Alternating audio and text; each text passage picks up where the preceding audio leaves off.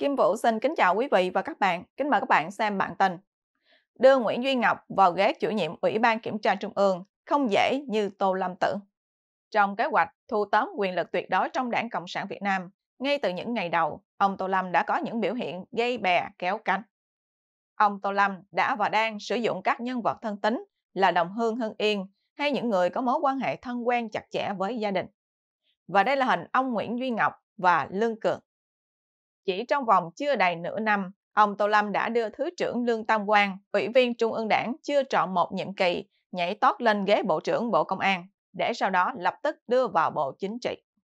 Tương tự, trong cùng một thời gian ngắn, Thứ trưởng Bộ Công an Nguyễn Duy Ngọc nhanh chóng được cơ cấu vào ghế chánh văn phòng Trung ương, rồi trở thành thành viên ban bí thư khi chưa là ủy viên Bộ Chính trị. Điều đáng nói, tất cả đều được vận dụng với cái gọi là trường hợp đặc biệt. Đây là một trong những lý do khiến cho nội bộ lãnh đạo cấp cao của đảng ngày càng mâu thuẫn và chia rẽ sâu sắc hơn. Nguồn tin nội bộ của Thời báo cho biết, Tổng bí thư Tô Lâm đang nỗ lực tìm mọi cách để đưa chánh văn phòng Trung ương Nguyễn Duy Ngọc ngồi vào ghế chủ nhiệm Ủy ban Kiểm tra Trung ương, thay cho ông Trần Cẩm Tú đã được phân công làm thường trực ban bí thư. Đây là một sự tính toán rất quan trọng vì một khi Bộ trưởng Bộ Công an chuyển hồ sơ các vụ đại án cho chủ nhiệm Ủy ban Kiểm tra Trung ương để xem xét và đề xuất hướng xử lý cho Bộ Chính trị ra quyết định kỷ luật. Điều đó có nghĩa là kẻ tung, người hứng đều là đàn em của Tổng bí thư Tô Lâm. Khi đó, các đối thủ của ông Tô Lâm trong ban lãnh đạo đảng sẽ bị biến thành củi để tống vào lò hết sức dễ dàng. Và đây là hình Tổng bí thư Tô Lâm. Một khi ông Tô Lâm thành công trong việc đưa Nguyễn Duy Ngọc ngồi vào ghế chủ nhiệm Ủy ban Kiểm tra Trung ương, thì quyền lực của Tổng bí thư Tô Lâm sẽ trở nên vô đối hơn. Tuy nhiên, cán cân quyền lực trong nội bộ đảng Cộng sản Việt Nam hiện nay đang có những diễn biến đảo chiều và có dấu hiệu sẽ trở nên quyết liệt hơn. Sau khi ông Tô Lâm phải chấp nhận chuyển giao chức vụ chủ tịch nước cho Đại tướng Lương Cường, việc ông chủ nhiệm Ủy ban Kiểm tra Trung ương Trần Cẩm Tú được bổ nhiệm chức vụ thường trực ban bí thư được đánh giá là rất bất lợi cho Tổng bí thư Tô Lâm và phe cánh. Thường trực ban bí thư là một vị trí quan trọng trong bộ máy lãnh đạo của đảng và những người nắm giữ vị trí này có cơ hội vươn lên trong bộ máy tứ trụ dễ dàng. Như các ông Trương Tấn Sang, Võ Văn Thưởng và Lương Cường sau thời gian làm thường trực ban bí thư đã trở thành chủ tịch nước. Việc ông Trần Cẩm Tú là người Hà Tĩnh được chọn làm thường trực ban bí thư nằm trong nỗ lực duy trì cân bằng quyền lực trong nội bộ chính trị và tứ trụ về vấn đề vùng miền.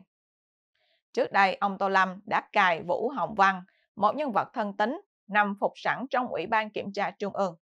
Đây là điều mà hơn ai hết, ông Tú hiểu rất rõ, cho nên tính toán của ông Tô Lâm tìm cách đưa Nguyễn Duy Ngọc, đàn em Hưng Yên, vào ghế chủ nhiệm Ủy ban Kiểm tra Trung ương sẽ trở nên khó khăn gấp bội. Và đây là hình thường trực ban bí thư Trần Cẩm Tú. Các phe phái chống ông Tô Lâm trong đảng được cho là đã thắt chặt liên kết thông qua sự dẫn dắt của các ban đảng. Những tin tức bất lợi của phe công an đã bị ban tuyên giáo thổi bùng lên, mục đích nhằm hạ uy tín của ông Tô Lâm cũng như phe công an. Hai phe Hà Tĩnh và Nghệ An là những thế lực rất mạnh dưới thời cố Tổng bí thư Trọng. Nếu nhắc đến phe thân Bắc Kinh trong đảng, không thể không nhắc tới hai phe cánh chính trị này là Chủ tịch nước Lương Cường.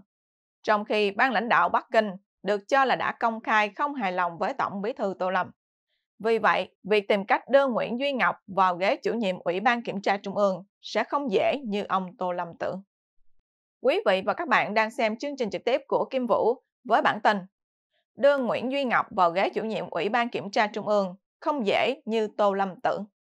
Xin mời quý vị và các bạn chia sẻ video này cho nhiều người biết và bấm nút theo dõi trên YouTube và Facebook của Thời báo chấm đề để luôn được cập nhật bản tin mới nhất, nhanh nhất và trung thực nhất. Kim Vũ xin kính chào các bạn và hẹn gặp lại các bạn trong chương trình lần tới. Kim Vũ xin kính chào quý vị và các bạn, kính mời các bạn xem bản tin. Cuộc chiến Ukraine leo thang với sự triển khai của quân đội Triều Tiên. Ngày 28 tháng 10, VOA tiếng Việt loan tin, Tổng thư ký NATO xác nhận quân đội Triều Tiên được triển khai đến khu vực Kursk của Nga. Theo đó, Tổng thư ký NATO Mark Rutte xác nhận hôm thứ Hai ngày 28 tháng 10 rằng quân đội Triều Tiên được điều đến Nga và các đơn vị quân đội Triều Tiên đã được triển khai đến khu vực Kursk. VOA dẫn lời ông Rutte nói với các phóng viên sau khi các quan chức và nhà ngoại giao NATO nhận được thông báo từ một phái đoàn Hàn Quốc nói rằng sự hợp tác quân sự ngày càng sâu sắc giữa Nga và Triều Tiên là mối đe dọa đối với an ninh của cả Ấn Độ Dương, Thái Bình Dương và châu Âu, Đại Tây Dương. VOA nhắc lại các lực lượng Ukraine đã mở một cuộc tấn công lớn vào Kursk vào tháng 8 và vẫn đóng quân trong khu vực này. Ông Reddy nói rằng, việc triển khai quân đội Triều Tiên ở Nga cho thấy sự leo thang đáng kể trong việc tham gia của Bình Nhưỡng vào cuộc chiến tranh phi pháp của Nga ở Ukraine, vi phạm các nghị quyết của Hội đồng Bảo an Liên Hiệp Quốc và là sự mở rộng nguy hiểm của cuộc chiến. Và đây là hình bài trên VOA. Tổng thư ký NATO nói rằng, việc triển khai quân đội Triều Tiên là dấu hiệu cho thấy sự tuyệt vọng ngày càng tăng từ phía Tổng thống Nga Vladimir Putin. Hơn 600.000 binh lính Nga đã thiệt mạng hoặc bị thương trong cuộc chiến của Putin và ông ta không thể duy trì cuộc tấn công vào Ukraine nếu không có sự hỗ trợ của nước ngoài, ông Jody nói. VOA cho biết Điện Kremlin bác bỏ các tin tức về việc triển khai quân đội Triều Tiên và nói đó là tin giả. VOA cũng cho biết một đại diện của Triều Tiên tại Liên Hiệp Quốc ở New York gọi các báo cáo đó là tin đồn vô căn cứ. Trước đó, ngày 26 tháng 10, VOA loan tin Ukraine nói Nga sẽ triển khai lính Triều Tiên ra tác chiến cuối tháng 10. Theo đó, Tổng thống Ukraine Zelensky trích dẫn tin tình báo cho biết Nga có kế hoạch triển khai quân đội Triều Tiên ra chiến trường bắt đầu từ ngày 27 đến ngày 28 tháng 10. Ông Zelensky không cho biết binh lính Triều Tiên dự kiến sẽ được cử đến khu vực tiền tiến nào hoặc đưa ra bất kỳ chi tiết nào khác. VOA dẫn tin tình báo của quân đội Ukraine nói rằng các đơn vị đầu tiên của Triều Tiên đã được ghi nhận ở khu vực biên giới Kursk của Nga, nơi quân đội Ukraine đã hoạt động kể từ khi tiến hành một cuộc tấn công lớn vào tháng 8. Và đây là hình Tổng thống Nga Vladimir Putin, kẻ khởi xướng cuộc chiến phi nghĩa ở Ukraine.